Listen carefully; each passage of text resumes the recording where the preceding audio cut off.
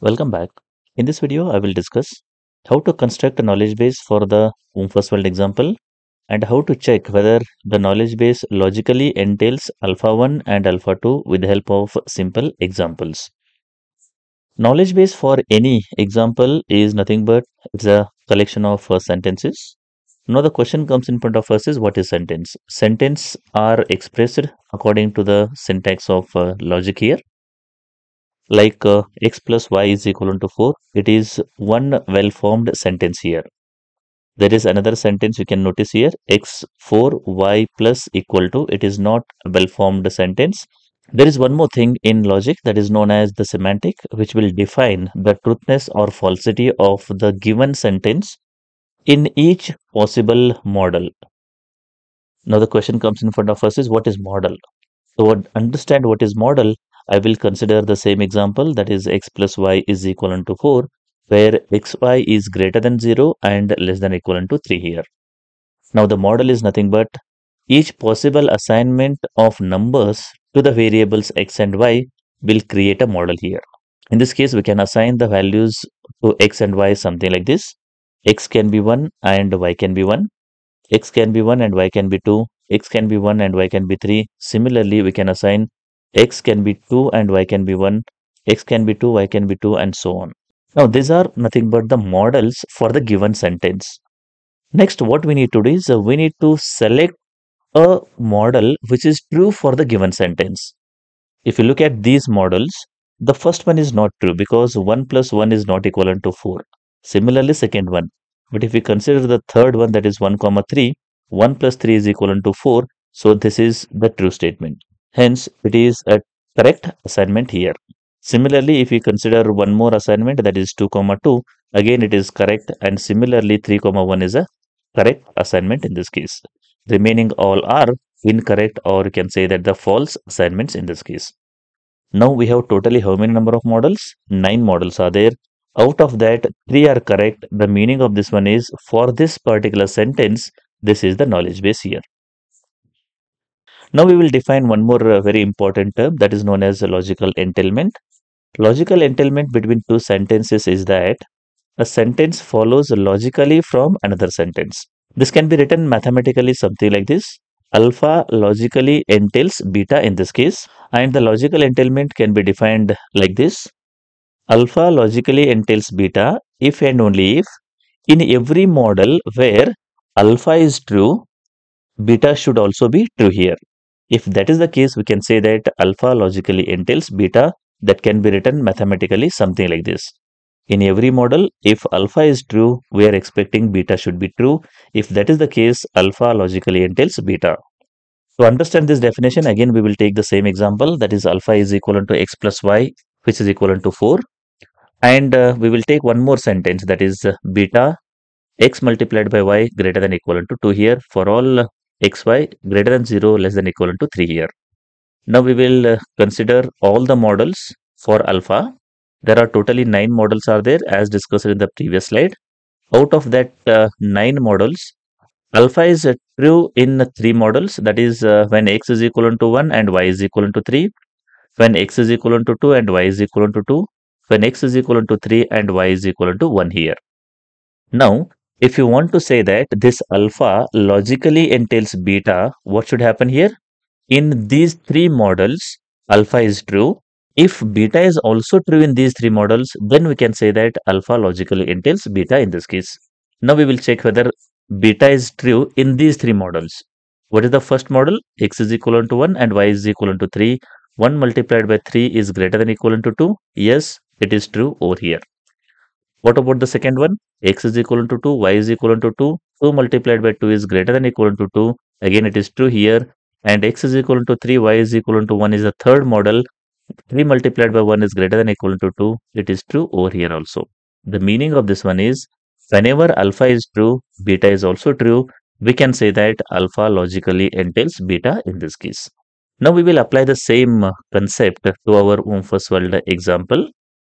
Let's assume that uh, the agent has uh, moved from the square 1 comma 1 to 2 comma 1 right now the agent is present in 2 comma 1 and he has perceived the breeze here what agent wants to know is he wants to know whether there is a pit in 1 comma 2, whether there is a pit in 2 comma 2 or whether there is a pit in 3 comma 1. This is what he want to know.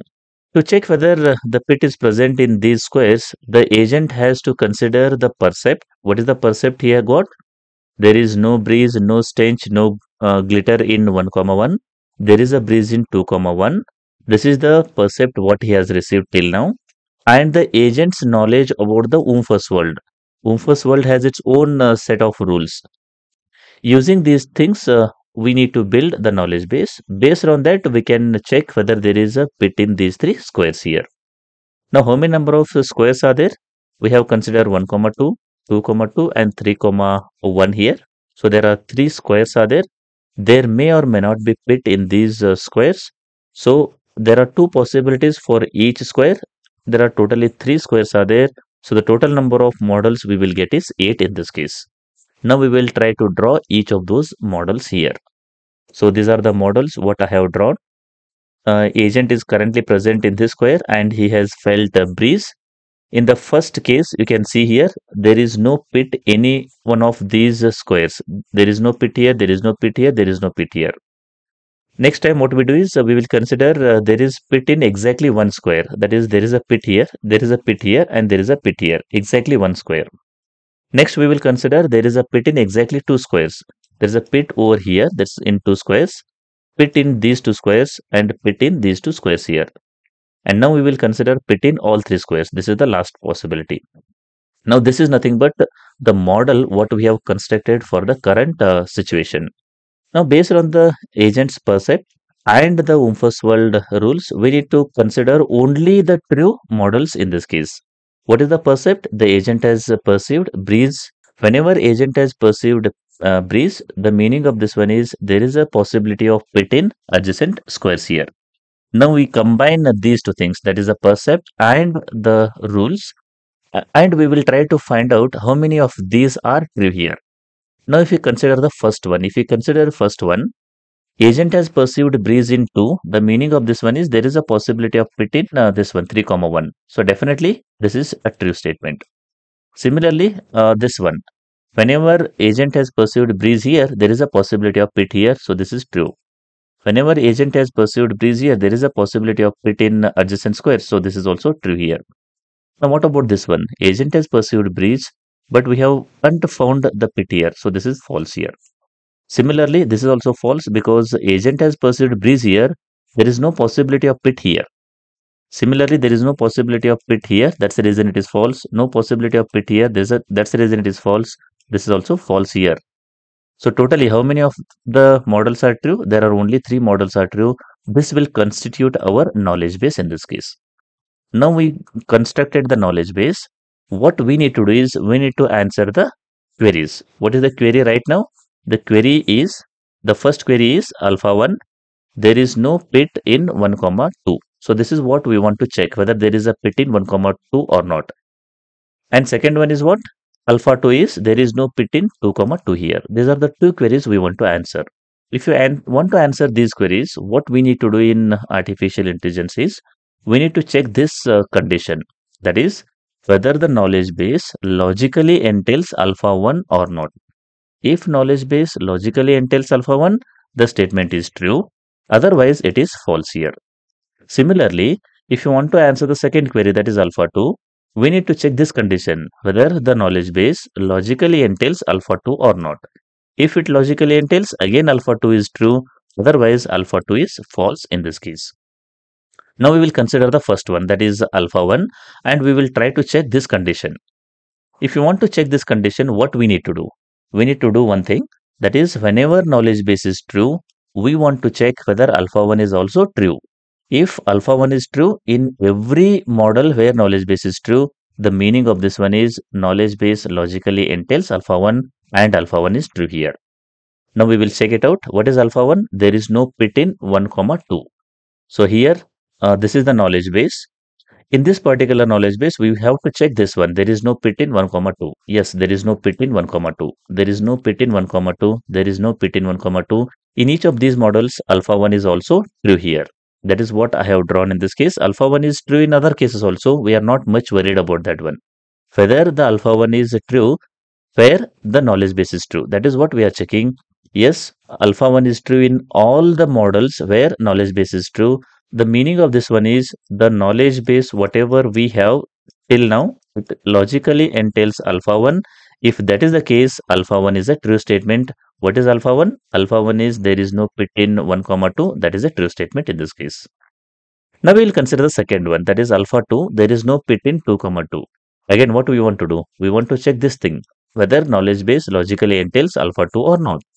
Again, knowledge base is uh, true in uh, three models. We want to check whether alpha 2 is true in those three models. What is that we want to check? We want to check there is no pit in 2 comma 2. So this is uh, 2 comma 2.